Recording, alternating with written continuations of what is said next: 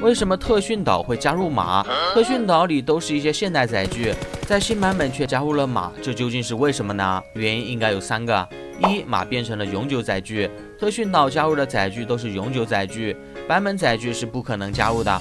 而马在新版本终于转正了，变成了常驻的永久载具。既然是永久载具，加入到特训岛就合情合理了，毕竟可以给玩家一个练习的机会。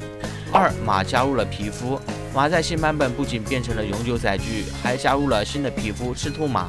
既然有了新皮肤，玩家自然是希望在特训岛能有它。毕竟自己花钱弄来了皮肤，当然要让其他人看到了。就好像有皮肤的载具，特训岛都有一样，皮肤也是有很强的社交属性的。三，为了匹配关羽和赵云皮肤，新版本最让人眼前一亮的就是全新的关羽皮肤了，它是第一款真享皮肤。